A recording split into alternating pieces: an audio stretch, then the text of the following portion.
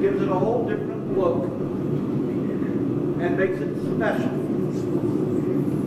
You can also do things like during the lockdown, I had some time on my hands, so I finally got around making a coat rack. And like many things on blacksmithing, when they say, oh, I want five identical ones, well, what you do is you do like seven or eight, and you choose the ones that look most identical. And so I had, I didn't go for identical. I said, okay, I'm going to make everyone a different head on it, and then my wife chooses. This is my favorite, and she thought it was much too aggressive for Coat So I get to show it around a lot. It around starting that way. Uh, one of the things I'm going to be doing is a incised twist, of which I have examples. This one is incised on all four sides. This one is incised on two sides. This is also something I did during the lockdown. I started making a set of samples that I could hang up on the wall of the shop. And when someone says, well, I want something with, you know, twist or whatever, and I said, I said, okay, which one do you want? And then, of course, get a little fancier and all the stair step twist. This was done using a hacksaw. I don't have electricity in my shop when I did this. And uh, I went ahead, it was my favorite, and put a bottle on the end. So it's hanging in the shop, and says, I want that one, I tell them, that's the most expensive one. So I'm going to have these around.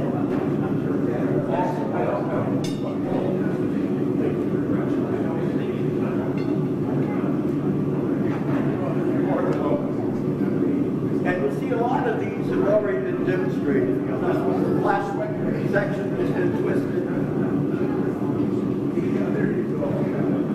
One by one. The other thing I do is the baskets.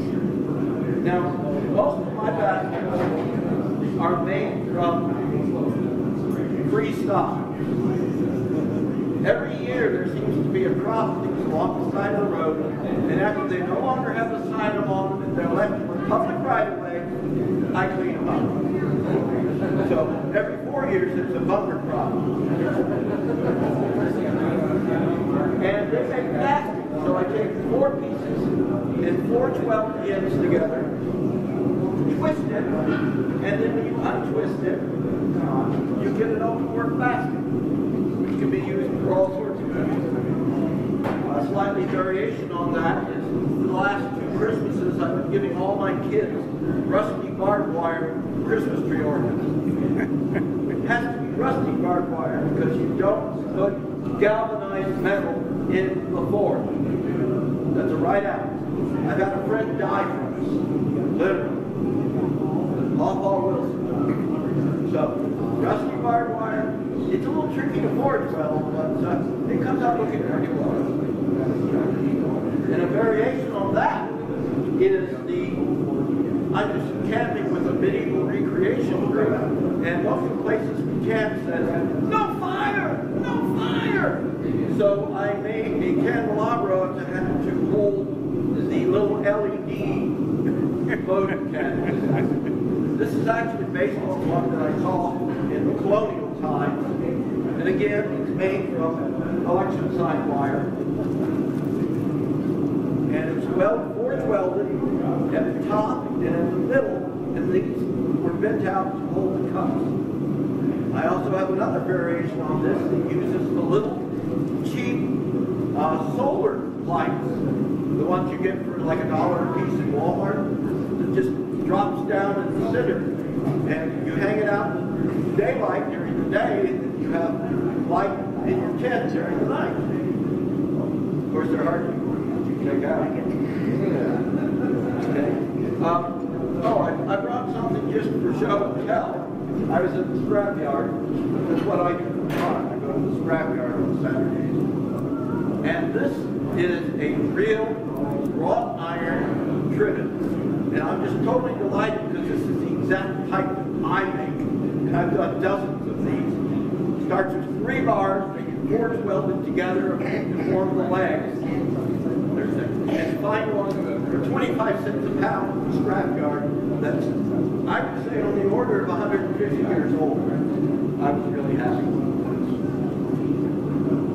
Now, a lot of these things, if you want to be really fancy with them, you need to be able to mark a center line. And there's all sorts of ways of doing it. I made up a quick dirty little jig to show people that this will mark the center line. There was a fellow on IForgeIron who showed this beautiful set that looked like calipers and marked the center. It was like four pieces and forged exactly and everything. And I said, you can do that in, you know, 15 minutes with a drill press and a piece of steel. So the way you use it is you take a rod, you put it on top, so, you know, there's a gap. You twist it so it touches the side. Since I can lay this out on a drill press, reverse it do the other way. And the line that's caused is right in the middle. It's not, you know, four days of very painstaking forging and filing and getting everything just right, laid out with micrometer or something. And it does more than one size. So that was half inch. This is three eighths inch.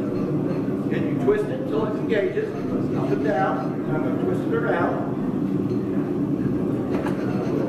And if you're really bad at laying it out, you'll form two lines, and the center is right between Another handy, handy thing is the, uh, if you're working in a shop alone, and you have a lot of twisting to do, you can get a uh, tool like this and fix in the hardy hole. The hardy hole may be a bit large, uh, it's been sleeved. And when you want to twist, you just drop it in and twist. I, you know, making socks, so I had to twist. Because not everybody has a post light. I tell people that if you're going to be blacksmithing, you're starting out, it's more important to get a good post light than it is to get an anvil like this. Because they've been using anvils that look like this for 3,000 years. This style anvil is about 300 years old. So what does an anvil look like? 3,000 years? 300 years. These are cheap. I get them for now 25 cents a pound at the scrapyard. What scrapyard do you go to? Good point. I go to the Amador Scrapyard in Polvadera, New Mexico. You get off at exit 156 and you get on the frontage road on the east side of the interstate and you go north a couple of miles to the right-hand side. But they're not letting people in on the main pile for a week or two now because uh, they had a fire being investigated wouldn't be investigated except that the fire training academy is in the next town over. So they have uh, something fun to investigate. So I'm going So it's do down the before you hit the simple car. slice twist. just on this side of the car. This is a conversion slice twist. And I'm going to have one of my friends hold the piece for me. And I brought stock a open work basket. And if I'm smart, I won't put my hands in the hot air.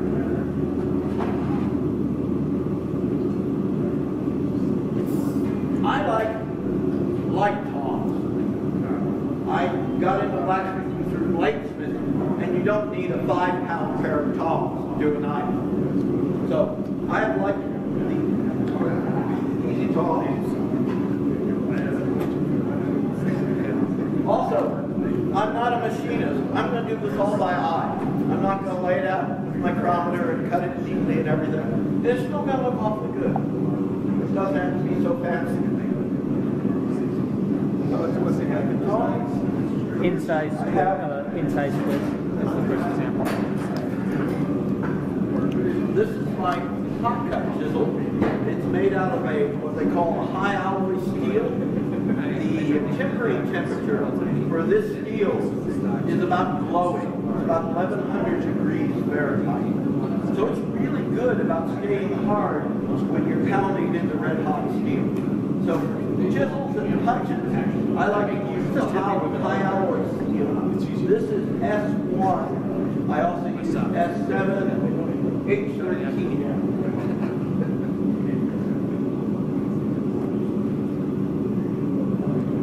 I'll use this big fancy anvil as a table. Where, where can you get a seven? I mean, I usually get mine at uh, uh, Quad State, which is the big blacksmith conference. It's not Havana.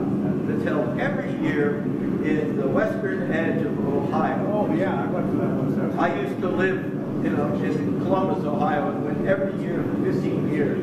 Then I moved out here, and I only can get out there every second or third year. And they usually have people selling drops of various steels. This right here, there's a fellow who got on one of the uh, online forge things, who was asking, this was a pharmaceutical punch. Used to punch out caplets and things. And when they broke, he had a five gallon bucket of them. And they were making them out of S1 at that time. Now they're using S7. And he said, well, what can I do with these? I said, bring them to Quad State, sell them for like three bucks a piece, and pay for your entire trip. And he gave me a dozen because that's what he did. And he sold out. So, how are we doing? Not hard.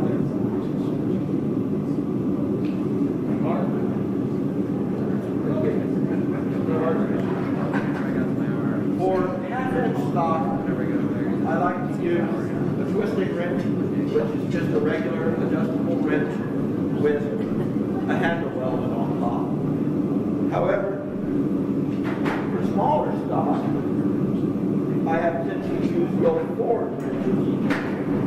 For one thing,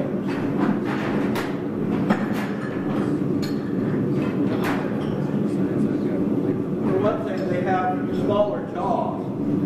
So if you're going to do an interrupted twist where you're going to stick it in the middle of the twist, it works a lot better because it's not such a big, wide spot. But for half inch, it helps to have the extra oomph. And I'm going to be putting handles on these now.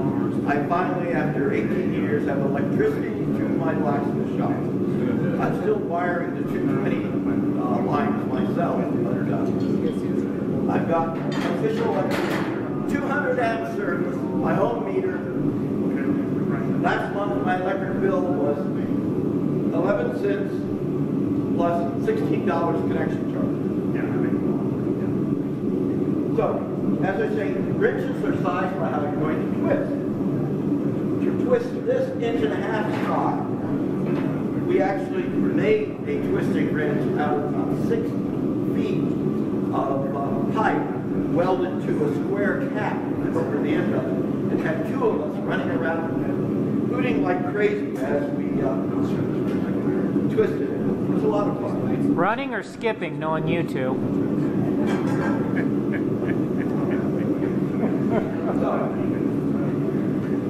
So, this is my wrench for bigger items. My claim to fame with this one is I once twisted a railroad spike with it. Cold. Oh, guy bet me I couldn't do it. I said, I have a six and a half inch post vise mounted to the telephone pole that holds my shop off it. I said, yeah, I can do it. Had to put a cheater on it, but you know. Okay, so, my assistant ready? Let's see, let me get a hammer.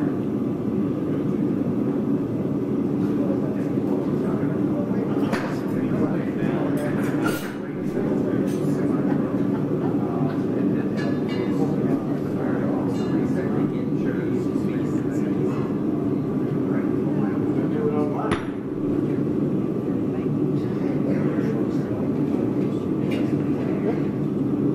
I do some teaching, and so I like to have a bunch of anvils in various heights. So I actually, you know, I decided to bring this one, because everyone gets stuck up on those things. If you can't afford to buy them, get you started.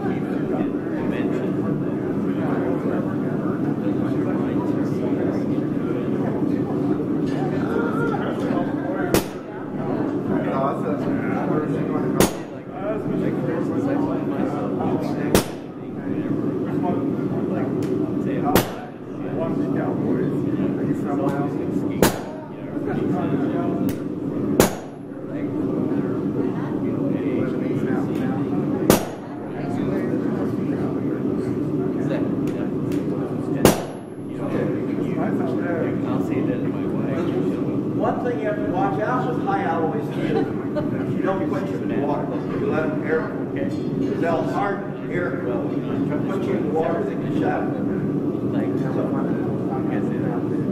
But it's nice because it doesn't matter if it gets hot. It has to glow before you have to worry. And I'm not gonna put it on this kid, they'll cold it.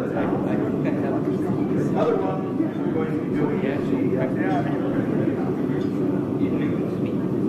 basket.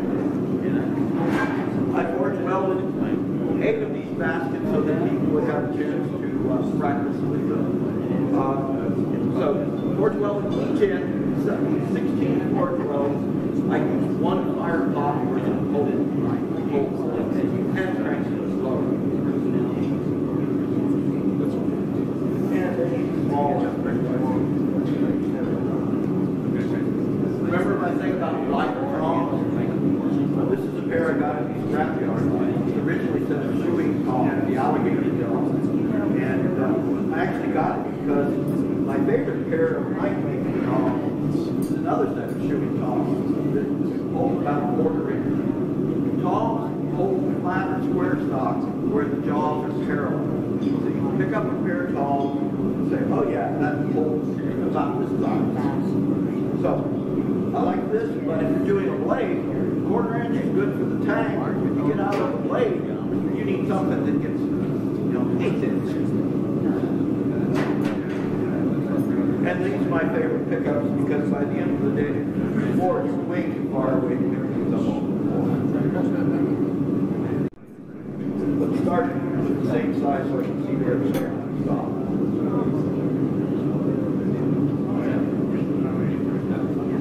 Now, on the my end of home, I have a hold down, which is like a motorcycle chain that's uh, fastened one side into the anvil, other end has a half inch bar about 22 inches long, where I where I uh, flatten the end, curl it around with the last length of the chain.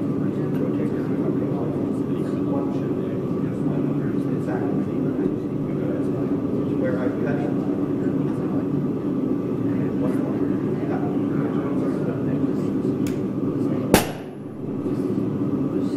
Okay, back.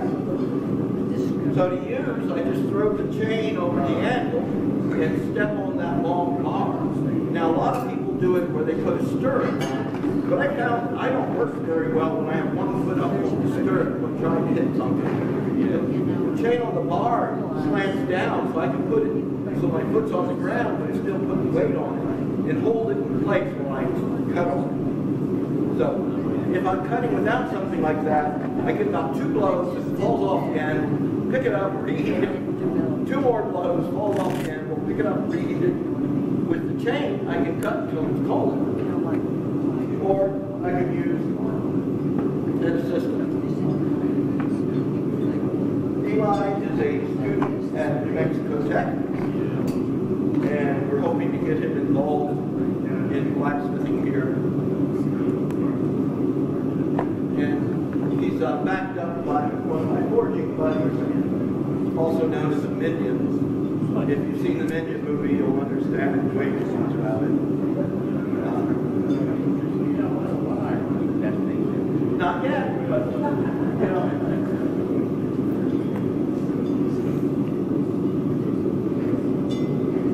Does anyone have any questions? Yes. I'm used to a very interactive thing where people ask me questions and throw things at me. You know, I give answers, sometimes they're right answers. How are you doing?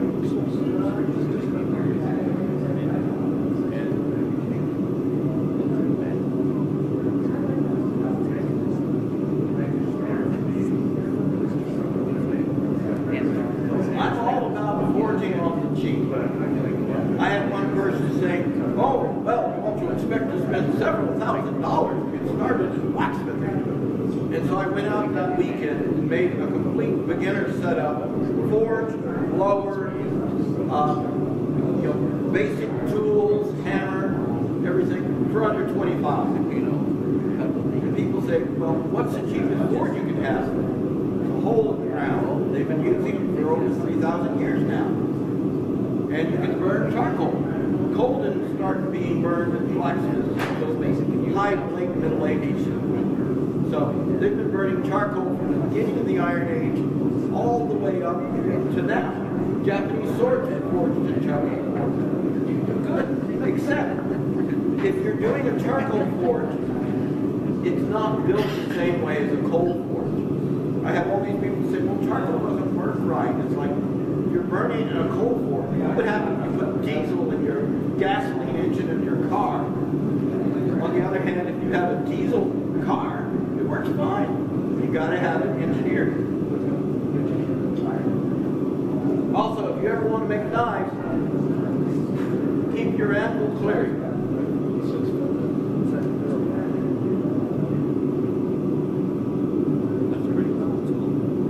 Well, that's really being fancy. I would have put a starting dimple with the, uh,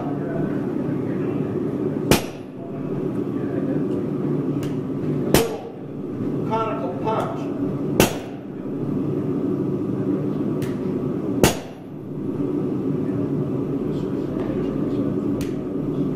So I can know when to start and stop, you know. It's not, one of the nice things about this is it still looks good even if they're not hundred percent accurate. The other thing is you notice this has a rocker on it. So it means I can start where the cut was and then pull it up to the new spot. Much harder to do with the square one. You actually hit it, you know, when it's at an angle, just keep on rotating. And one thing that helps, if you're getting started, you can use a much heavier hammer with a very short handle.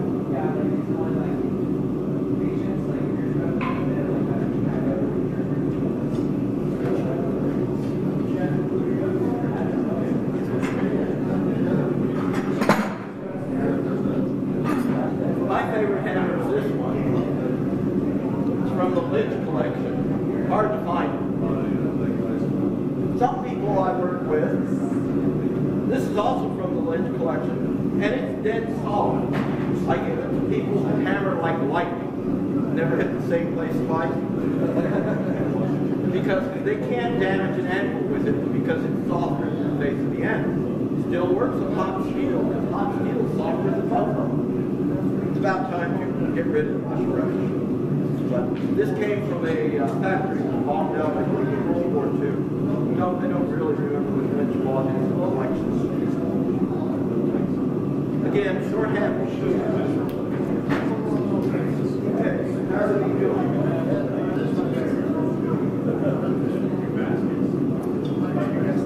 Is anybody here from the uh, homeschooling collective? Aha. I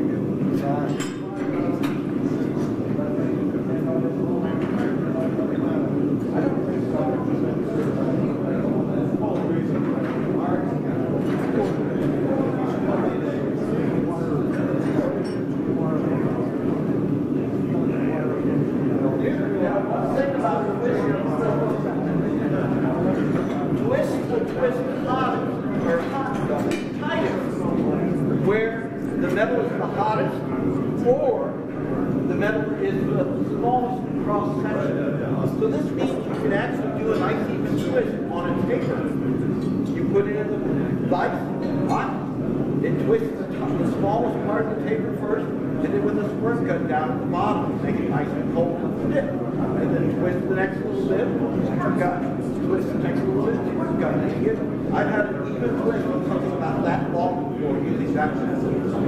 So, the other interesting thing about that is we know how big Viking era were. They're using real wrought iron that has to be almost at welding to keep it from fraying out and falling apart. So they did a lot of twisted items because twisting is the blacksmith secret for over a thousand years. Uh, and you can look at their twist and see the tightly twisted part that's in the hottest part of the fire, then a uh, lightly twisted part, and then they'll go move it into the fire for their tightly twisted part. So judge how long the tightly twisted areas are, you know how big the hot spot was in a Viking era forge. It's really interesting because we have people say, I need a three foot long forge to forge a sword. Well, the Vikings were doing a hot spot about six inches. And they were doing a pattern weld six inches. And uh, the thing about it is, on sword making, you don't want to heat any metal you're not going to working that time. Because the metal that gets heated, you have grain growth, decarbonization, and scale loss. So I tell people, you know, I want to build a three foot long sword, and I want to use swords. So, so you're going to make worse swords than if you built a forge that's half that size with pass through in the back. So you know, stick the part you're going to be working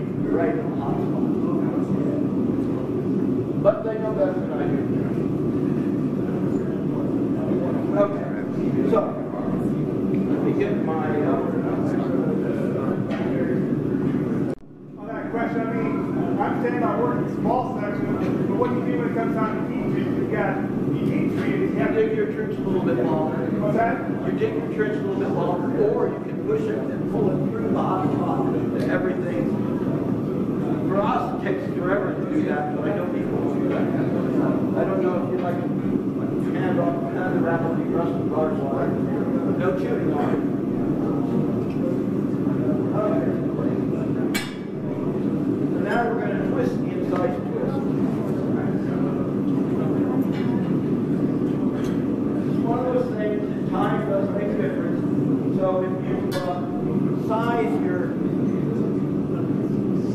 wrench. Oh, so it's just a real easy thing. Stop it.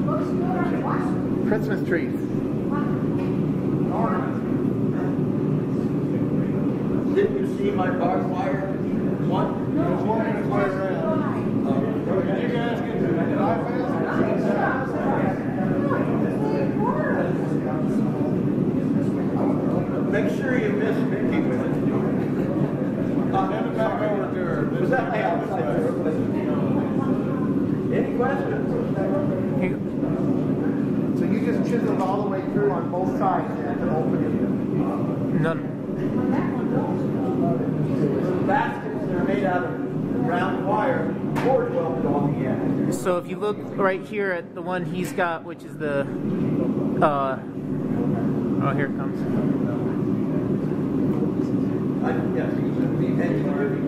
Yes, well, the uh, chandelier is, I think, six feet. Four twelve pound flat or pound flat. I have the wired together with baby wire down here.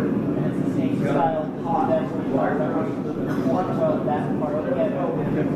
separate.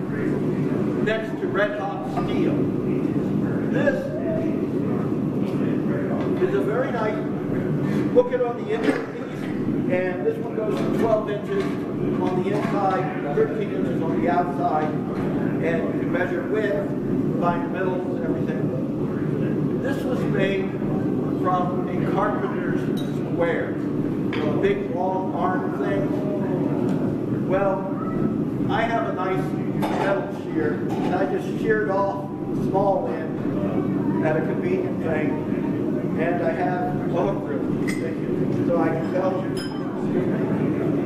This is 10 inches long, five and a inches wide, and um,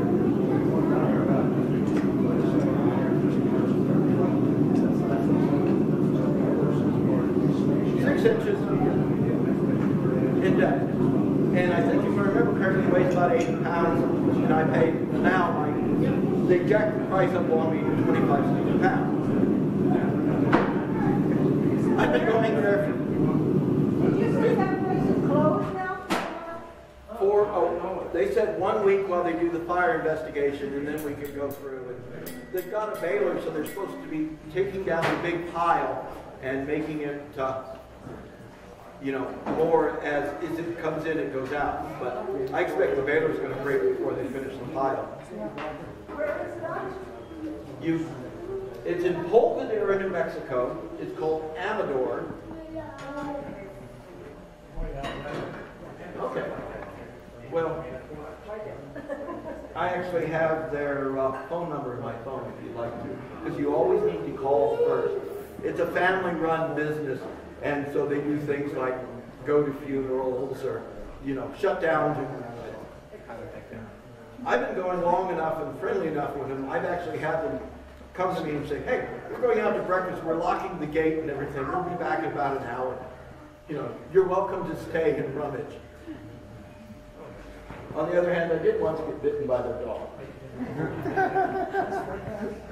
Well, they said they had it shots, we just covered it with uh, uh, hydrogen peroxide, and I wrapped a proverbial dirty shop rag around it.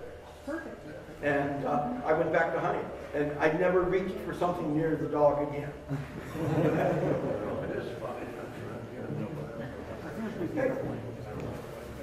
You know, the thing about going to a scrapyard is it's inherently dangerous. You know, wear your boots, your blue jeans, you know. And take your wagon. I wear a very disreputable red felt hat because when they're up in the really big machines loading steel, I want to make sure they know exactly where I'm at. And it's your business to stay out of that their way. You know, I've headed for the hills when I see one coming my way because I don't want to. You know, the person in there has to look on all sides and they're balancing crushed cars and all sorts of fun things. So, any, any questions about any of this that I've done? Or I'll answer questions about anybody else's. Thank you very much, Thomas Powers. You guys-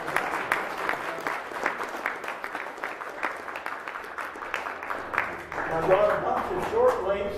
While I was watching Thomas, I'm thinking, I've got one more piece I want to twist. And actually, for some reason, you know, look at this. You know, I, I hardly ever do anything original unless I throw it away. It's original. But uh, this is one of my favorite twists. And it's basically you chamfer the edges like this edge here, the diamond, top and bottom. I just, you know, just knock down the edge.